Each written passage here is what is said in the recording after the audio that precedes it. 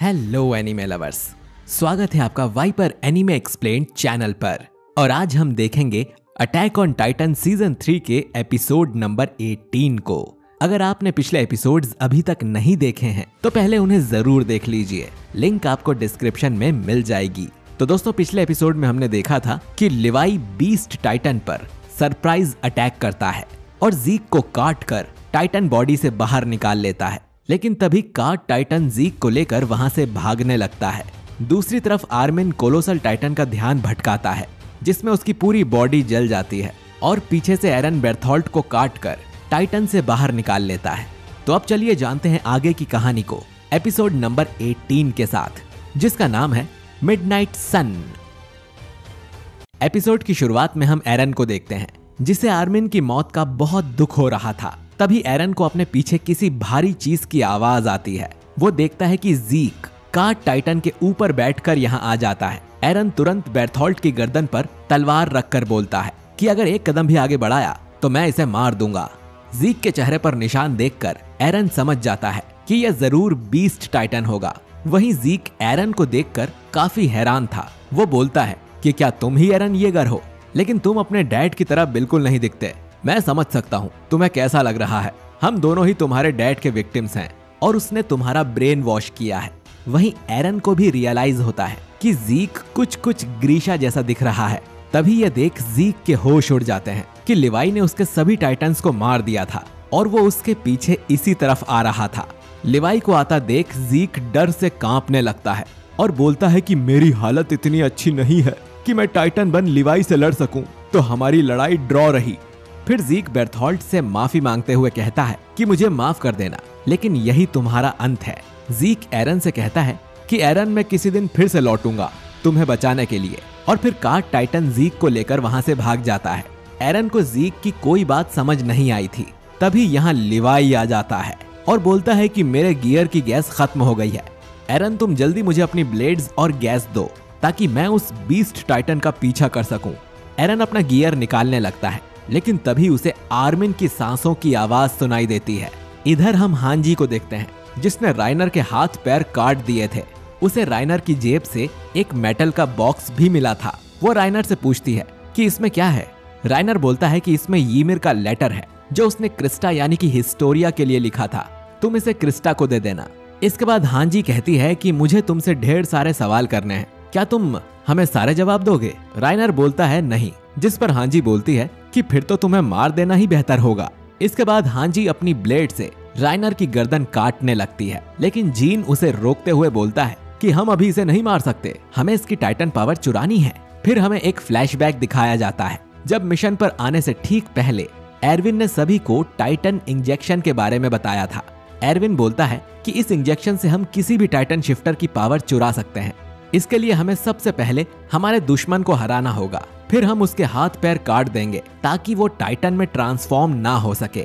इसके बाद हम हमारे किसी सोल्जर को ये इंजेक्शन लगाकर उसे माइंडलेस टाइटन बना देंगे। फिर जैसे ही वो किसी टाइटन शिफ्टर को खाएगा तो वापस इंसान बन जाएगा, और उसे टाइटन शिफ्टर की सभी पावर्स भी मिल चुकी होंगी। फिर हम एक तीर से दो निशाने भी कर सकते हैं। हम इस इंजेक्शन का यूज़ किसी ऐसे सोल्जर पर करेंगे, जो बिल्कुल बचने की हालत में ना हो।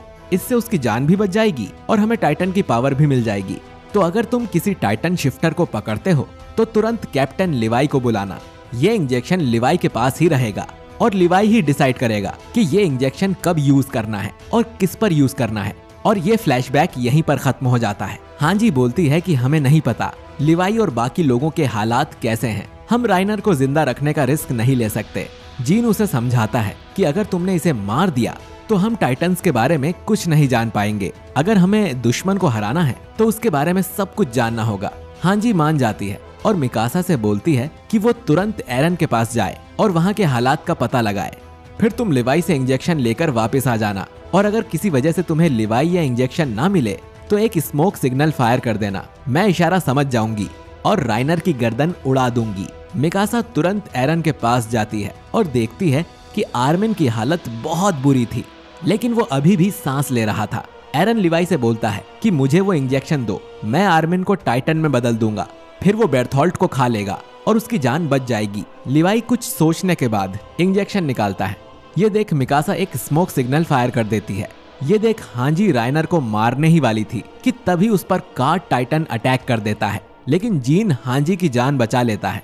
वो दोनों देखते हैं कि कार्ड टाइटन राइनर को अपने मुँह में उठाकर वहाँ से भाग जाता है। ये देख जीन को खुद पर गुस्सा आता है, क्योंकि अगर वो नहीं बोलता तो हांजी ने राइनर को मार दिया होता। इस पर हांजी कहती है कि तुम्हें बुरा मानने की ज़रूरत नहीं है, वो मेरा फैसला था। चलो, बाकी लोगों के पास चलते हैं। इधर लिवाई एरन को इंजेक्शन दे ही रहा होता है कि तभी यहाँ पर फ्लॉच एरविन को लेकर आ जाता है और कहता है कि हमारे कमांडर काफ़ी जख्मी हालत में है। उनका बहुत खून बह गया है, लेकिन वो अभी तक ज़िंदा है। कैप्टन लिवाई, तुम जल्दी से इंजेक्शन लगाकर कमांडर को ठीक कर दो। अब ये देख लिवाई एरन को इंजेक्शन नहीं देता और बोलता है कि मैं ये इंजेक्शन एरविन को लगाऊँगा। ये सुन एरन बोलता है कि तुम ऐसा नहीं कर सकते। तुमने कहा था, तुम ये इंजेक्शन आर्मिन को लगाओगे। लिवाई बोलता है कि मैं उस इंसान को बचाऊँगा जो इंसानियत को बचा सके। ये सुन मिकासा अपनी तलवार निकाल लेती है। आर्मिन को बचाने के लिए वो लिवाई से भी लड़ने को तैयार थी। इधर हम वॉल के ऊपर जीक और कार्ट टाइटन को देखते हैं। जीक राइनर से कहता है कि राइनर आज तुम्हारी किस्मत बहुत अच्छी थी। इधर लिवाई बोलता है, तुम दोनों जानते हो तुम क्या कर रहे हो? एरविन सर्वे कॉप्स का कमांडर है और मैं उसे मरने नहीं दे सकता। मेरे रास्ते से हट जाओ।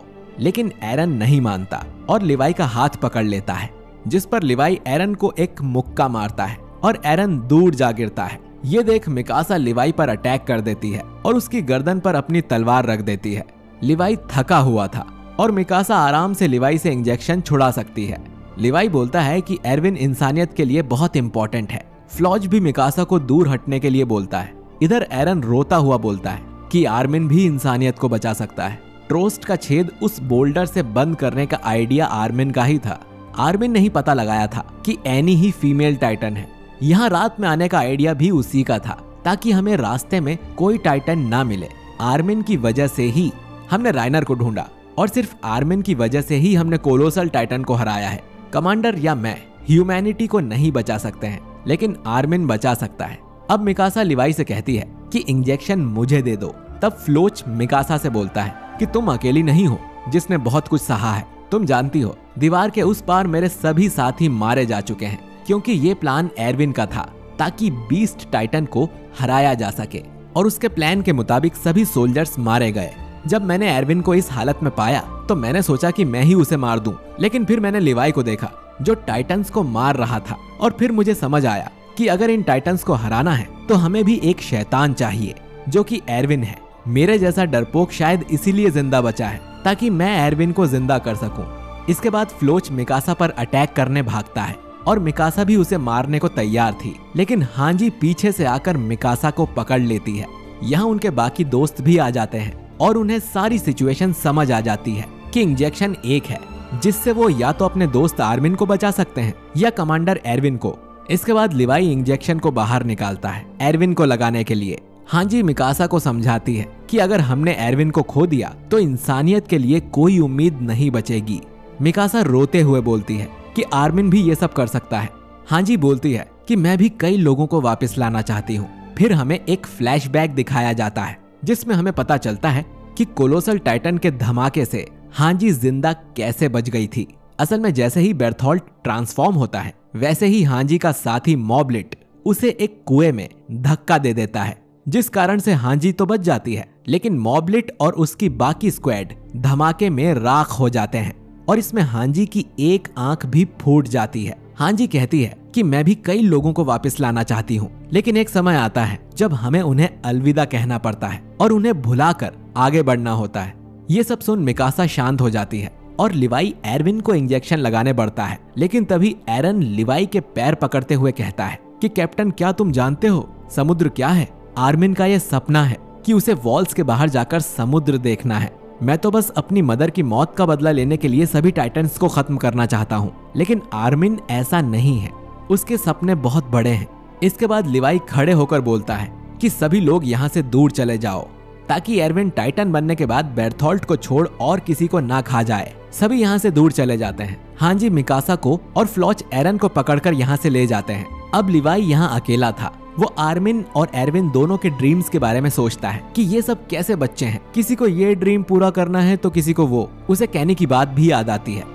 जिसने उसे कहा था कि इंसान को ज़िंदा रहने के लिए किसी न किसी चीज़ का नशा होना चाहिए। इसके बाद लिवाई एरविन के हाथ में इंजेक्शन लगाने ही वाला होता है कि एरविन अपना हाथ झटक देता है और बोलता है, लेकिन टीचर, हमें कैसे पता चलेगा कि वॉल्स के बाहर कोई इंसान नहीं है? ये वही सवाल था जो एरविन ने बचपन में अपने फादर से पूछा था।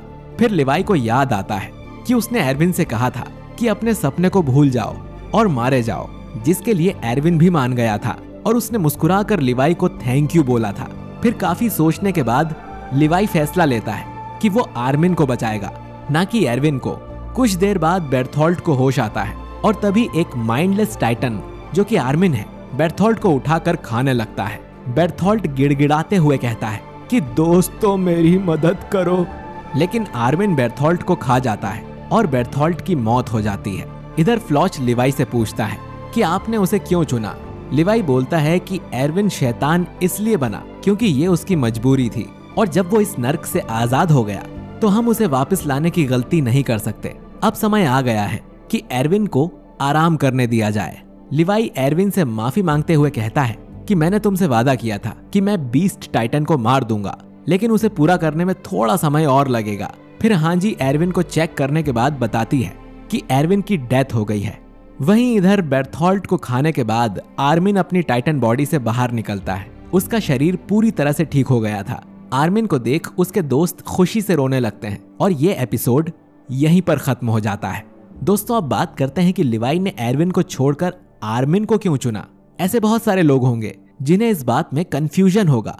अब वैसे तो कई रीजंस हैं जिनकी वजह से लिवाई ने एरविन को नहीं चुना। उनमें से एक रीजन मैं आपको बताता हूँ। दोस्तों, हम जानते हैं कि एरविन भले ही कितना भी ग्रेट लीडर हो, लेकिन वो एक सेल्फिश इंसान है। एरविन बेसमेंट तक पहुँचने के लिए इंसानियत को भी खतरे में डालने को तैयार था। वहीं अगर आर्मिन की बात की जाए तो उसने इंसानियत को बचाने के लिए अपनी ज़िंदगी और अपने सपने दोनों को कुर्बान कर दिया, जिससे पता चलता है कि इंसानियत के लिए आर्मिन ही एक बेहतर चॉइस थी। और शायद इसीलिए लिवाई ने आर्मिन को चुना। वैसे ये मुझे लगता है। इस पर आपके क्या विचार हैं? कमेंट करके ज़रूर बताइए। और ये भी कि एरविन बेटर है या आर्मिन? इस एपिसोड के मिड इन्फो कार्ड में कुछ खास नहीं है। हमें इस टाइटन इंजेक्शन के बारे में ही जानकारी दी गई है, जिसके बारे में हम एपिसोड में सब कुछ पहले से ही जान चुके हैं। तो दोस्तों, आज के एपिसोड में हमने दो इम्पोर्टेंट कैरेक्टर्स को खो दिया है, एक बेर्थॉल्ट और दूसरा कमांडर एरविन। तो दोस्तों, अगला एपिसोड बेहद खास होने वाला है, क्योंकि उसमें हमें बेसमेंट के राज के बारे में पता चलेगा। ये राज इतना बड़ा है कि ये पूरे अटैक ऑन टाइटन वर्ल्ड को ही बदल कर रख देगा। तो दोस्तों, अगले एपिसोड को बिल्कुल भी मिस मत करना। वीडियो अच्छा लगा है तो क्या करना है पता है ना आपको? लाइक कॉमेंट शेयर सब्सक्राइब नहीं किया है तो करो ना, ताकि ऐसे शानदार वीडियो आपसे मिस ना हो सके। चलिए दोस्तों, मिलते हैं आपसे अगले एपिसोड में। शुक्रिया।